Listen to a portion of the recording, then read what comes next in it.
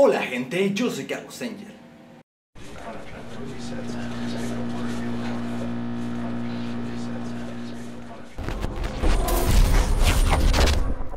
¡Ah! ¿Qué es eso? ¿Qué, qué es eso? ¿Qué es esto? ¿Qué, ¿Qué pasó? ¿Qué acaba de pasar en mi video? ¡Un intro! ¡Tengo un intro! Luego de como 5 años o más haciendo videos aquí en YouTube, al fin me conseguí un intro para mis videos. Y no porque yo lo deseara, sino porque alguien llegó a mi Facebook diciéndome, oye, ¿no quieres un intro? Muchas gracias a Fabián Zazueta por hacerme ese intro. Que lo usaré más o menos hasta que me harte de él. Al igual como me pasa con todos los outros de mis videos. Porque no sé si habrán visto videos míos viejos donde yo ponía mis propios outros. Los pedazos que iban al final del video. Los llegué a usar varios meses en muchos videos, pero al fin y al cabo los terminé quitando. Quién sabe, tal vez lo terminé haciendo igual con este intro y outro que me hiciste. No es que no lo agradezca, pero así soy yo. Disculpa. Díganme es lo que opinan de él, si es que les gustaría seguirlos viendo en mis videos. Dejemos el intro de lado porque eso no es de lo que vengo a hablar el día de hoy. La edad. La edad es ese padecimiento que todos sufrimos desde el momento en que nacemos. Comenzamos a tener edad desde ahí hasta el momento que morimos. Inclusive algunas cuantas personas siguen teniendo edad después de morir. Hoy Michael Jackson tendría 55 años si siguiera vivo. ¿Qué pedo? La edad es algo que nos define como personas. Ya cuando acumulamos cierta cantidad de años, nada nos dice que somos niños, adolescentes,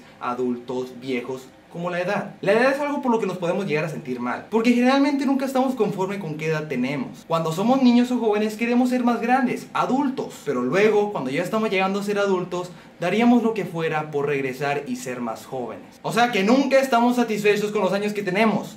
Jamás. Por ejemplo tú, tienes 15 o 16 años y estás harto de no ser mayor y que aún te sigan tratando como si fueras un niño. Odias que no puedas ir a fiestas, a antros, a bares, tomar alcohol, fumar, tatuarte, ser independiente. Estás harto de eso. Pero cuando al fin llegas a tener 18 años, ¡uh, sí, qué padre! Al fin puedo hacer todas esas cosas que nunca pude. Pero luego espérate unos cuantos años. Vas a tener muchas más responsabilidades, cosas que hacer, poco tiempo para ti, el trabajo, la escuela y vas a desear regresar a ser un adolescente caliente igual que antes. En serio, lo vas a desear. ¿Qué? ¿No me crees? No mames, ¿por qué nunca me creen? Nunca me creen nada de lo que les digo. Puta madre. Cuando llegues a tener 18 años o ser mayor de edad, dependiendo de dónde vivas, se te va a pasar el encanto. No dura para siempre. Es lo mismo que manejar. Estás emocionado por aprender a manejar, ya quieres poder agarrar un carro, ir a donde tú quieras. Podrías manejar todo el día si pudieras. Pero conforme pasen los meses, créeme que te va a dar mucha flojera ir a alguna parte porque tienes que manejar. Igual que con la edad. Y uno de los problemas de la edad es que en cierto punto de tu vida vas a hacer esta pregunta.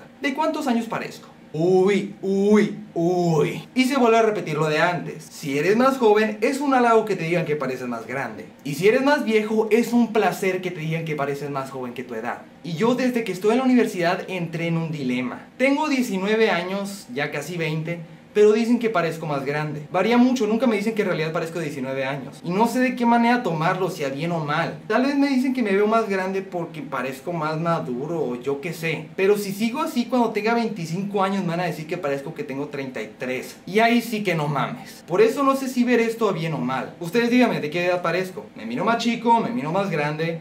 No lo sé. Tal vez no actúo de la manera que una persona de 19 años debería actuar. Y hablando de qué edad parecen, las mujeres son las más acomplejadas por la edad. Y cuando se trata de adivinar la edad de una mujer, aguas. Es una situación de mucho riesgo. Mucho cuidado con decir que parecen más viejas, aunque sea un año. Porque en ese momento ellas no van a decir nada. ¿De cuántos años parezco? Pues no sé, la verdad, como unos 23. Ash, no, tonto, tengo 21. Van a ser como que no pasa nada. Está bien, te equivocaste, no pasa nada. Cualquiera se puede equivocar por un año o dos. Pero por dentro, ¡ay, idiota! Dice que me veo más vieja este tarado. Lo van a sentir en el alma y jamás se les va a olvidar. Se van a acordar dentro de 30 años cuando un güey le dijo que se miraba dos años más vieja. Y siempre le va a tener un rencor a esa persona. Porque aunque fuera sin querer, le estaba diciendo más vieja. Nunca te va a perdonar por ello. Por eso si puedes evitar adivinar la edad de una mujer, hazlo. Es lo mejor en esta situación de riesgo. Y ahora para todas las mujeres. Si eres bonita en tu juventud, créeme que vas a ser bonita conforme pasen los años. Nunca vas a perder tu belleza. No te sientas mal porque tienes 25 o 26 años. No se te acaba la vida ahí ni te vuelves fea.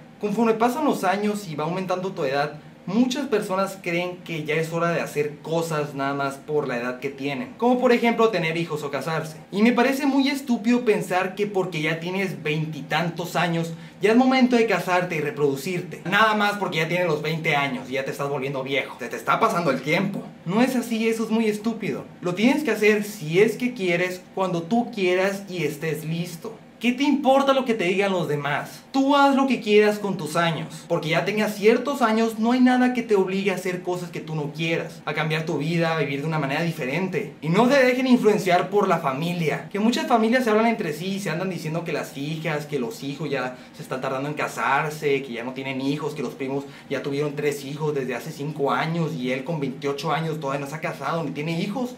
¿Cómo es posible?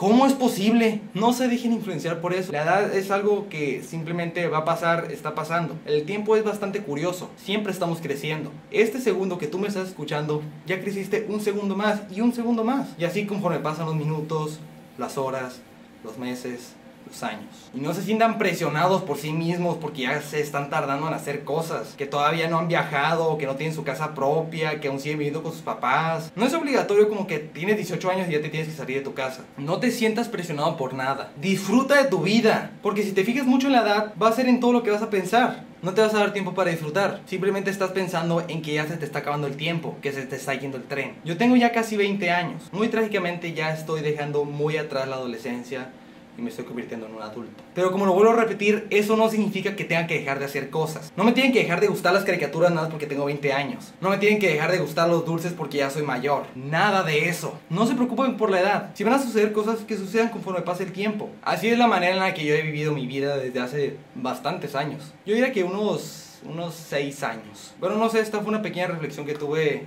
ya desde hace bastante tiempo. La edad es lo que siempre nos recuerda que ya estamos envejeciendo y que algún día nos moriremos. Por eso procuro no pensar en ello así, no me pongo triste. Nada me pongo a pensar en cosas bonitas, como que ya hay nuevo video, ese tipo de cosas. Y bueno, ya como último me gustaría saber qué es lo que opinan de esto. ¿Qué edad es la que tienen? ¿De qué edad parecen? ¿De qué edad se sienten ustedes? Y si están de acuerdo conmigo en esto. O tal vez tú tienes un punto de vista diferente al mío y lo pones en los comentarios y yo lo leo y me parece muy inteligente. Aunque la mayoría de los comentarios sí son muy estúpidos. Bueno, si es que te gustó este video, por favor dale un me gusta. Eso me ayudaría bastante para saber que en realidad sí te gustó este video. Y déjame un comentario en la parte de abajo, aparte de lo que opinas de la edad. No sé, alguna crítica constructiva para mejorar mis videos. Cuando me ponen un comentario en serio, lo tomo en cuenta. No todos, lo tengo que admitir, no todos, no todos. No todos son unos estúpidos, no todos. Muchos sí, pero no todos, en serio. Tú puedes ser el comentario listo de este video. Si es que quieres ver más videos míos en un futuro, por favor suscríbete aquí en la pantalla o en la parte de abajo. Subo video todos los jueves al punto de la 1 de la tarde. Nunca les fallo, nunca les fallo. Y si me quieren seguir en mis redes sociales es Twitter, arroba Carlos como tú y Facebook, diagonal Carlos Angel Oficial. Ahí es donde les comento todas las cosas y estoy publicando mis videos o cosas divertidas, fotos de mi día, de cosas extrañas, de cuando salgo a pedas. No sé, tal vez algún día esté en alguna parte por aquí en Mexicali, en un bar, subo una foto y ustedes están ahí me pueden saludar. No lo sé. No lo sé. Y bueno, quédense hasta el final del video para que miren el nuevo outro, que es como el intro, pero para el final, por eso es outro. Out de fuera y ro de... Es un video para el final de mis videos. Quédense para que lo vean y me digan qué tal está. Quién sabe, tal vez a ustedes no les gusta para nada, les parece muy estorboso, como que no queda con mi canal, mis videos y pues lamentablemente lo tendré que quitar. Así que ustedes díganmelo. Como sea, gente, como sea. Espero que les haya gustado este video. Suscríbanse en la parte de abajo y me dejen un comentario. Yo soy Carlos Angel y te espero en el próximo video.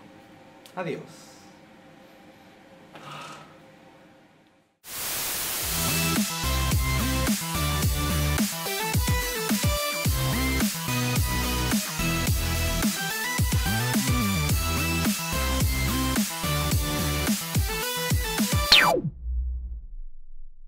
Son casi las 2 de la mañana y me tengo que levantar un rato para ir a la universidad.